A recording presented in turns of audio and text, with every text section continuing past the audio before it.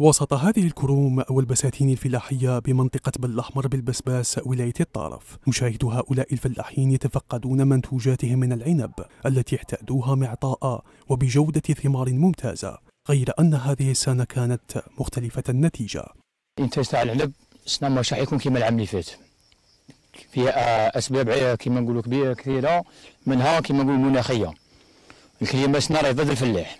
توش باش يكون كما العام الأول ما ما كاينش راه كانت كاينة كما نقولوا حنا سخانة ما ولات شتاء ما عاد ولات سخانة سما الله غالب. إحنا كنا بالانتظار عام تشوفوا في كانت كان فيه تأخر في في النضج تاع العنب خاصة في الأصناف الملونة كريد جلوب وكاردينال كانوا تاروا تأخر كبير خاصة في بعض المناطق. كانت المرة الأولى كان توقعت أن كان الإنتاج حيكون أكثر من العام اللي فات.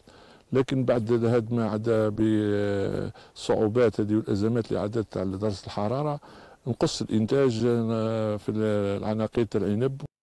الأمطار الأخيرة غير الموسمية وقبلها الجفاف. عوامل أثرت سلبا على مردودية الإنتاج بمزارع العنب الممتدة هنا والتي كانت تجود كل سنة بأفضل محصول.